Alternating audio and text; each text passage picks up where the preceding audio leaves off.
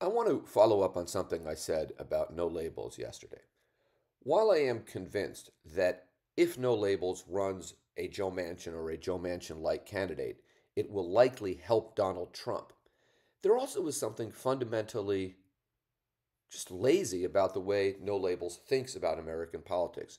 No Labels' theory of American politics is that Donald Trump is on the far right, which is an interesting way to see Donald Trump. Donald Trump is a fascist, but he's not a far right ideologue the way, say, Ron DeSantis is or Ronald Reagan was. And that Joe Biden is on the far left. That is political fantasy. Joe Biden is an old center left, maybe centrist politician. But implicit in that notion is that we're going to put someone in the middle and they'll get the majority of the votes.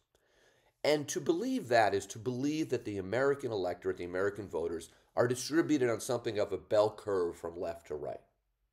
And if you start starting your understanding of American politics there is like starting your understanding of astronomy with the notion that the sun revolves around the earth. If you start either of those analyses with those assumptions, you're going to get to some very wrong conclusions. The American electorate cannot be described as existing on simply a left to right bell curve. That is a fantasy of pundits, lazy academics, and analysts, and it's simply not true.